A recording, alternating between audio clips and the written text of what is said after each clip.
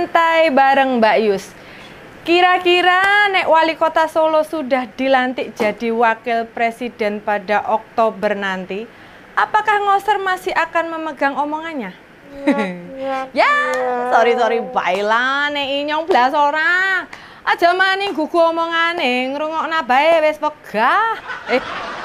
Eh, lah kok lah kok kok logatku tadi ngapak ngene. Saya tak ulangi lagi. Apakah penggemar ngos-ngosan masih mempercayai Gibran bila sudah dilantik jadi wakil presiden? Mek Wahyu sih wis hilang rasa. Ilfil, sebah. Jangankan meyakini kebenaran bicaranya. Dia bicara apa? Ya, konkret saja. Golek nafkah keluarga lebih penting. Bukan soal apa-apa sudah puluhan isu atau topik di ngos-ngosan ini yang mempertanyakan apa yang pernah disampaikan wali kota Solo itu. Lah kok kemarin kayak gitu diulangin lagi? Waktu ada refleksi tiga tahun pemerintahan Gibran Teguh, dia bilangnya tetap mengawal pembangunan Solo meski sudah jadi wakil presiden. Katanya wakil presiden nggak hanya duduk di kantor saja, Beberapa rencana pembangunan Solo ke depan sudah diselesaikan MOU-nya dengan pihak lain, baik yang anggarannya dari APBN, APBD, CSR maupun sumber di luar itu. Yang pasti sebelum pilkada, Gibran Teguh akan diberhentikan terkecuali bila tidak mencalonkan sebagai kepala daerah. Mungkin Gibran akan diberhentikan sebelum pelantikan presiden dan wakil presiden terpilih. Masalahnya, apakah Pak Teguh mau konsentrasi gantiin Gibran? Atau pilih gak maju daripada menghadapi calon yang didukung Gibran? Kalau dari berbagai pemberitaan, sepertinya ada Gusti Mangkunegaran 10 yang ditawar-tawarkan wali kota Solo buat menggemalah, belibet, buat menggantikan kepemimpinannya. Masih muda, cerdas, smart, attitude-nya juga bagus. Pengalamannya ya jadi Mangkunegaran 10 itu. Pemimpin di Mangkunegaran. Hingga hari ini PDIP belum menentukan, belum memutuskan bakal mengusung siapa. Mereka masih konsentrasi dengan Pilpres dan Pilek. Pilek, Pilek. Hasil Pilek lokal, PDIP masih tetap menguasai suara partai di Solo. Nah, Pilkada Oktober nanti jelas bakal jadi ajang pertarungan antara kekuatan Gibran dengan PDIP. Tapi Mbak Yus ya rame omong kui, melainkan menyoroti apa yang disampaikan sulungnya Jokowi saat refleksi tiga tahun pemerintahan. Benarkah dia masih sempat, masih punya waktu, masih berkepentingan atas pembangunan di Solo? Nih yang maju ketua umum PSI alias adik kandungnya sendiri yo Mbak Yus masih percaya. Tapi jika bukan, apalagi nanti orangnya Gibran. Rasa-rasanya kepeduliannya hanya lip service semata.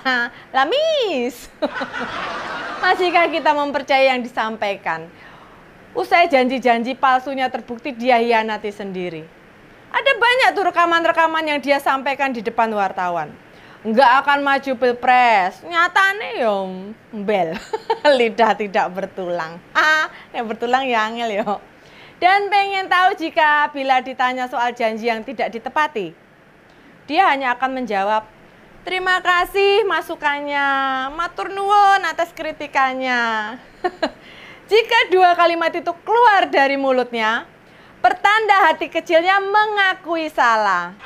Tinimbang berapologi malah wagu atau tambah kebongkar topengnya, ya toh? ya wes pasrah wae. Gimana masih bisa ngawasi, ngawal, memantau pembangunan di Solo? Apa dia nggak sadar? Presiden yang bakal dilantik usianya itu sudah menginjak 73 tahun. Itu pertama.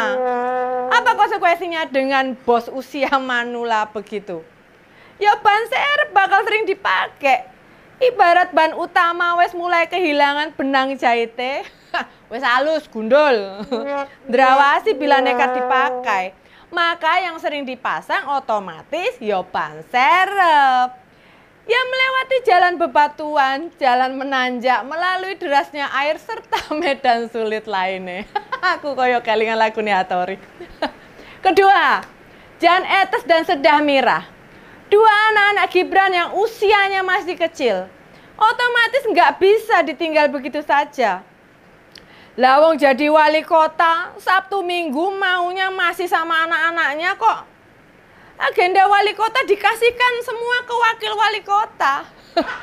Yombon jagong, peresmian, pertemuan, nerima tamu, wes, dan beragam agenda lain-lainnya. yang nggak percaya, tanya Pak Teguh tuh, wakilnya yang sekarang. Sabtu Minggu justru lebih padat dibanding hari kerja. Soalnya agenda wali kota dan wakil dia jalankan sendiri. Nah nek kayak gitu kapan bisa mantau pembangunan Solo? Ayo genah ngimpi. Dia ngerti dan bilang begitu soalnya banyak masyarakat Solo itu loh. Dua pimpinan masih muda omongannya kaya welut, lunyune sak pole. Apa yang bisa diharapkan ketika dia sudah jadi RI 2? Hah? Makane Mbak Yus blas wes orang ngandel sing ameh dipegang sopone gitu loh. Sederhana saja dengan perumpamaan lain. Silahkan nanya ke jajaran PDIP. Dulu janji-janjinya bagaimana? Dulu apa yang pernah disampaikan? Katanya ikut apa perintah ketua umum. Dulu katanya belum cukup usia. Dulu katanya belum berpengalaman. Dulu katanya tegak lurus. Nah, sekarang ingat loh, ingat. Ini bukan nyinyir gitu loh. Tapi jika ada penguasa yang lambene cacu sak geleme dhewe yo, masih kan kita sebagai rakyat akan mempercayai apa yang disampaikan. Ayo. Ini Mbak Gelo, ya warga Solo harus menyiapkan deretan kekecewaan berikutnya. Rakyat Solo atau sebenarnya rakyat mana pun sajalah omongan seorang pemimpin mestinya sesuai dengan apa yang dilakukannya. Satu kata, satu perbuatan. Sebagai perempuan nek krungu lanangan omongan gombalmu kiola pengen ngucek-ngucek ngucir tuh bibire biar tidak sembarangan berkata-kata. Ya loh, ora sembarangan ngomong, ora sembarangan janji gitu. Apalagi seorang pemimpin mesti menjalani apa yang pernah disampaikan. Bila faktanya begini, lima tahun ke depan, ya mari nikmati Indonesia dipimpin oleh orang-orang yang gak bisa ngertiin rakyatnya. Mbak Yus ya alhamdulillahnya nggak memiliki beban berat. Lawong berat tidaknya beban kan ada di pikiran kita masing-masing. Juga termasuk para pendukungnya. Silahkan itu dinikmati. Lima tahun ke depan kalian ngedumel nggak karuan. Mbak Yus itu ngedukung Jokowi. Sembilan tahun muji-muji masih mending. Yang setahunnya aja ya nggak jelas. Lah, belum dilantik saja sudah bikin runyam situasi dan kondisi rakyat tok gitu loh. Isu-isu yang sekarang masih jadi perbincangan saja mereka abaikan. Acuh, cuek, nggak peduli. Ya ayo bersama kami bukan pendukung Prabowo Gibran menertawakan situasi ya toh. Mau ketawane yo ojo nemen-nemen secukupnya wae ya toh. Kayak makarya golek duit. Oke? Segitu ngos-ngosan ngopini santai bareng Mbak Yus hari ini. Kita ketemu lagi di ngos-ngosan selanjutnya. Bye.